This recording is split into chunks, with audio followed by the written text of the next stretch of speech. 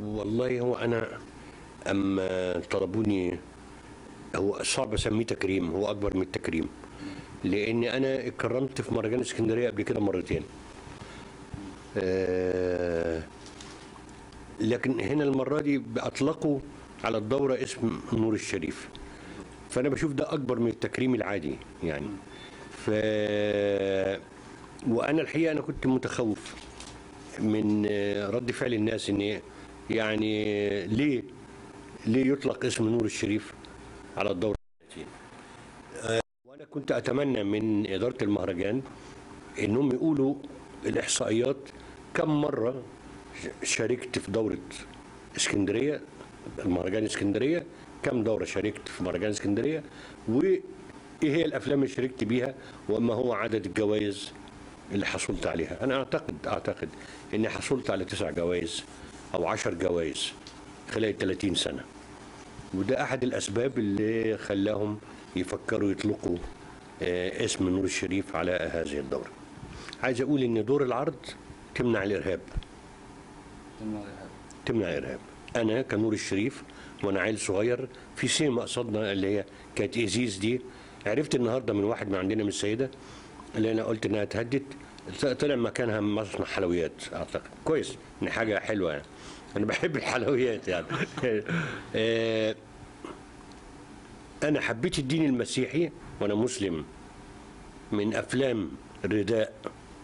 ها؟ آه، الح- الرداء. وأفتكر لك المصارعون. عدد من الأفلام واخد بالك؟ أنا عرفت عن الحضارة اليونانية الكثير من الأفلام التاريخية. اللي كانت بتتعرض. أما بتنشئ دار عرض داخل الحي الشعبي خصوصا يعني بكثافات الناس فيه أنت بتعمل مركز تنوير.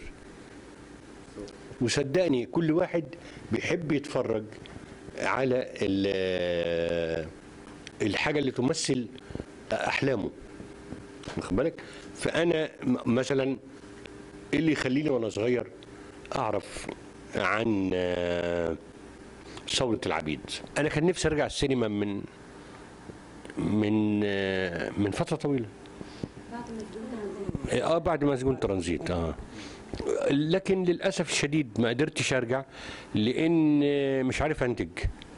يعني أنا كان كنت حابب أرجع وأنا اللي أنتج يعني. لكن للأسف الشديد الظروف العامة في السينما ما بقتش مواتية إن الواحد ينتج يعني. لازم آه، نطلب من النظام الجديد.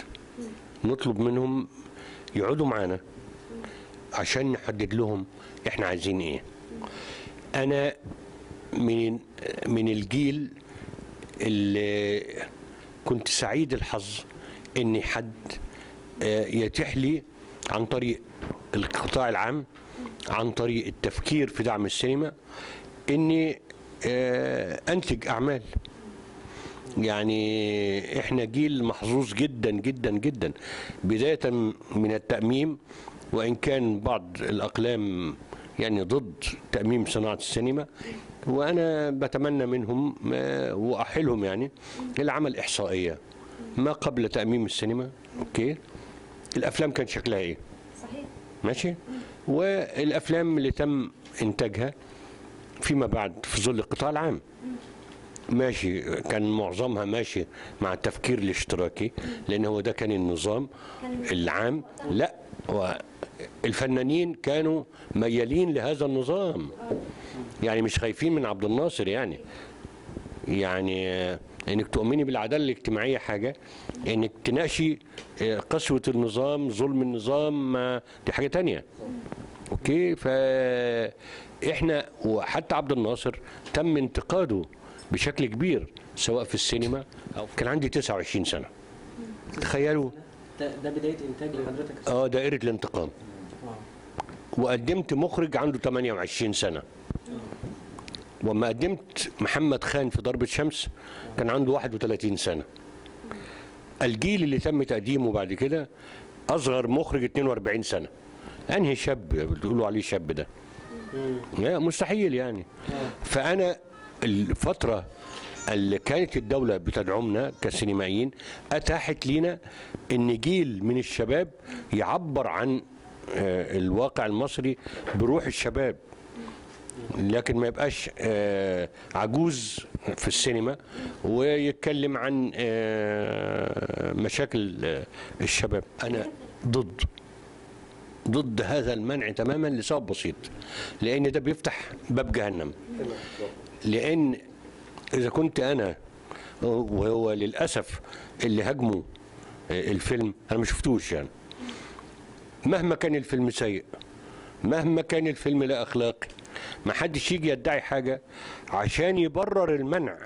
لأن إذا كنت أنا بدعوى جانب أخلاقي ما منعت الفيلم هاجي بعد شوية بدعوى الرأي بدعوى الفكر أمنع الفيلم. فيلم تاني طبعا وهنا الخطورة. إذا كنت أنت في مجال المنافسة بترحب بترحب إنك تضرب زميل تحت الحزام وإنك يعني تض- تضره. تأكد ان إن اليوم هيجي وإنت اللي هتتأذي.